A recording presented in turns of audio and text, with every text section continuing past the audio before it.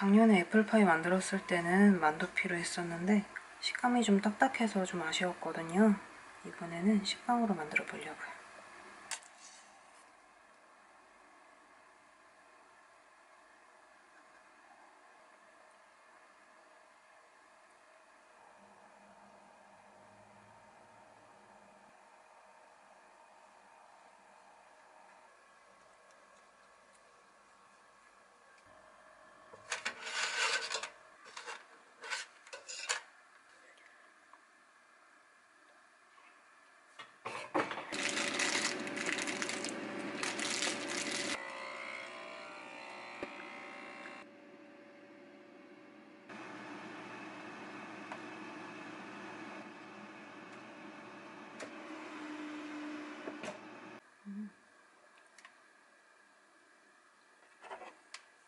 좀 너무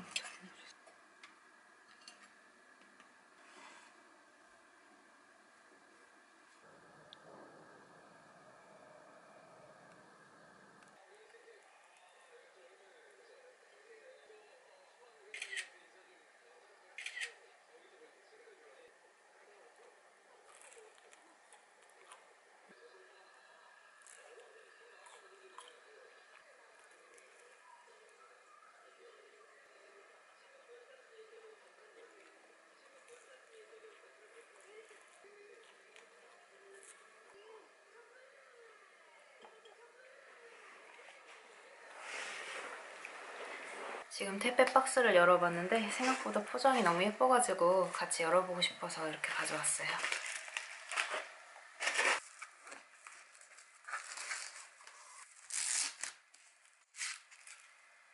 제가 예전에 성수동 소품가게에서 보고 계속 아랑그려가지고 구매했거든요. 이게 뭐냐면 음. 이게 라디오미터라고 햇빛 받으면 안에 있는 게 돌아가거든요. 햇빛 잘 드는 곳에다가 한번 두고 바라보려고요.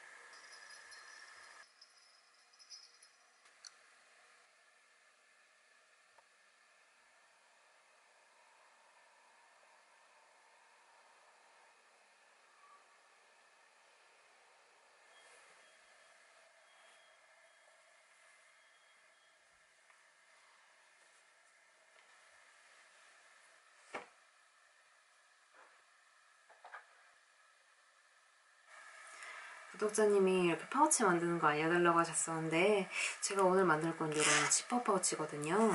이 지퍼가 주머니 파우치보다는 만드는 게 조금 어려워가지고 일단 설명은 이런 주머니 파우치로 하고 그리고 나머지는 이런 지퍼 파우치로 한번 만들어 볼게요.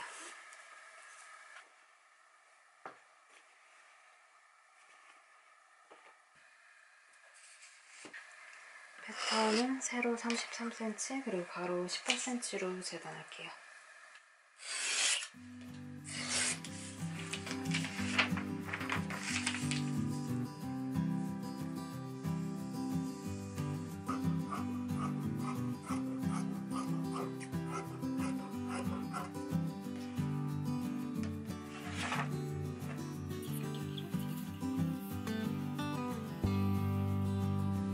겉감이랑 안감 체크해야 될 부분이 조금 다른데 겉감은 이렇게 2cm 정도 string 들어갈 부분을 체크했으면 안감은 이 정도 창구멍 들어갈 부분을 체크해둬야 돼요. 이걸 통해서 이제 뒤집어 줄 거거든요.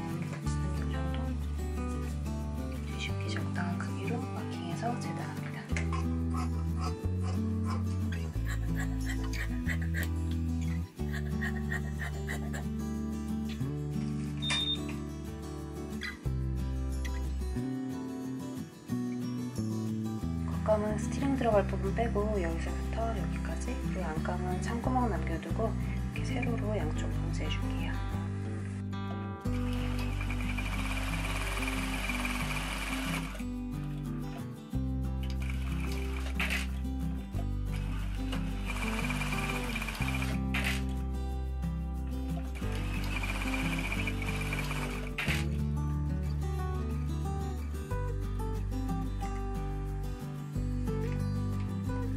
겉감은 이렇게 string 들어갈 부분만 빼고 봉제를 했고 안감은 이렇게 창구멍 하나 남겨두고 봉제를 했습니다.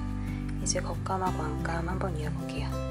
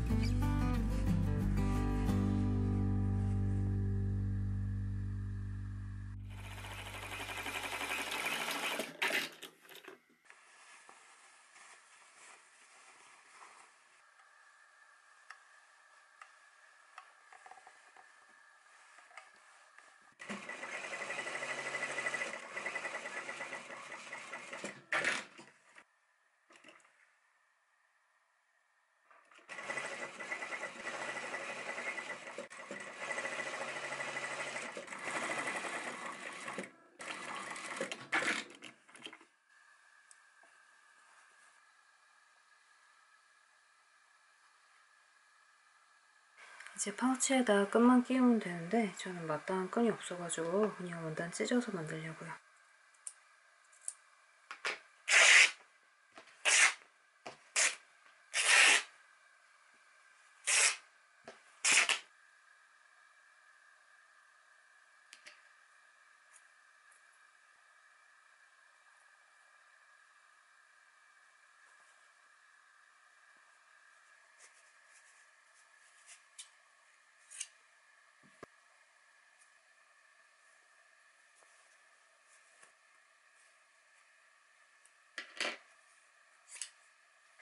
이렇게 파우치 완성이 됐는데 이렇게만 하면 좀 심심하니까 예전에 샀던 이 와펜 붙여주려고요. 노란색 레몬이나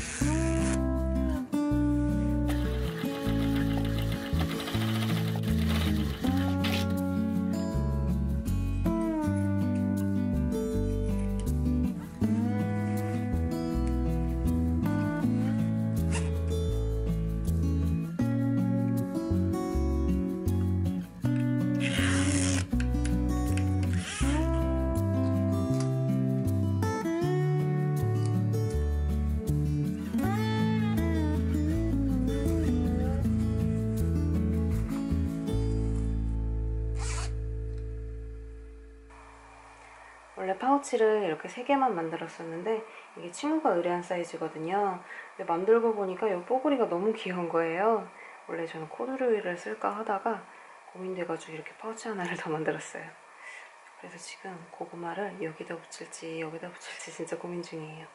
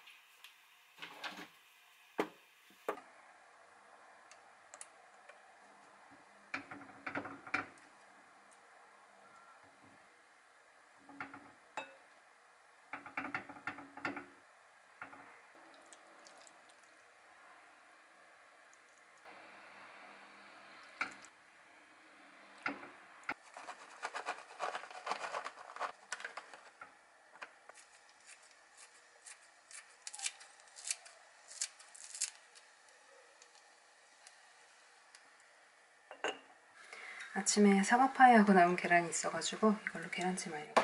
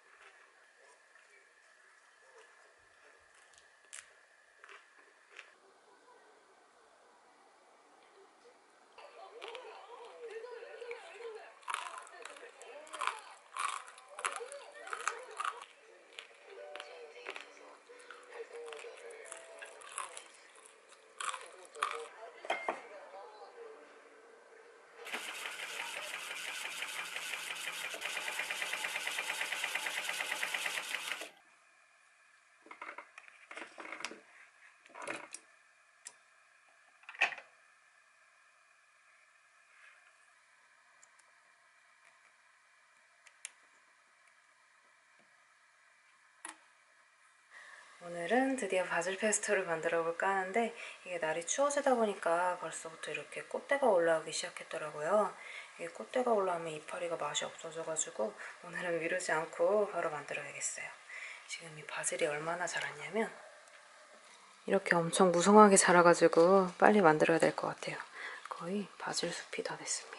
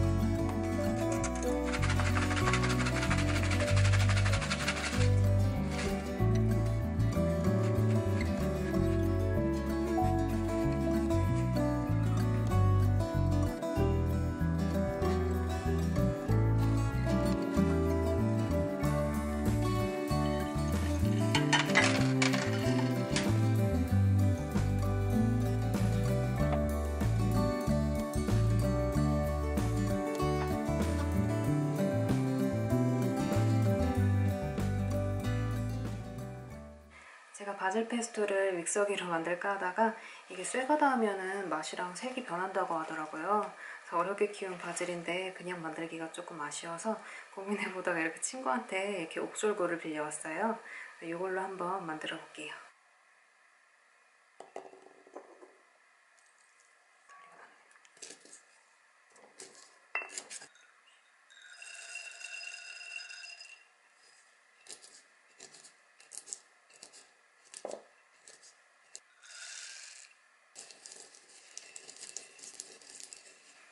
벌써 되게 맛있는 냄새가 나요. 음, 엄청 고소한 냄새.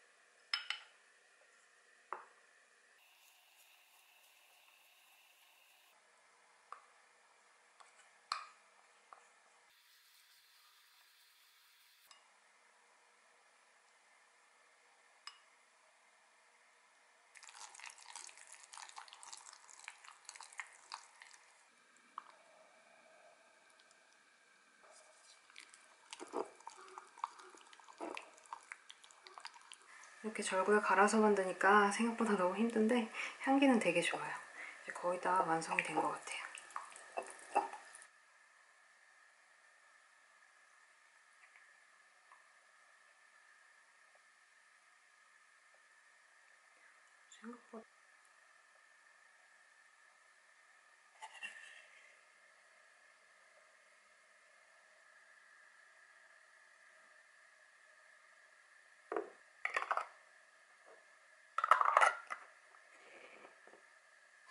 바질 페스토 3병은 채울 수 있을 줄 알았는데 생각보다 양이 적게 나왔어요.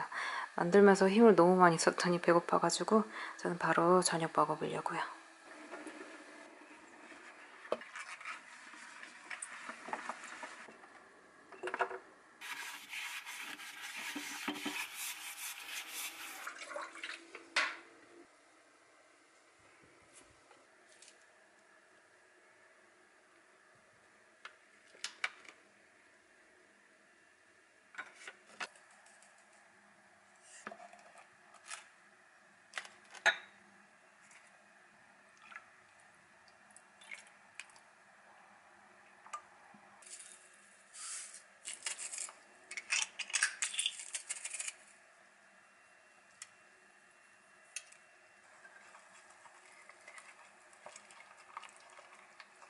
시리아 타이머 6분 30초 알겠습니다.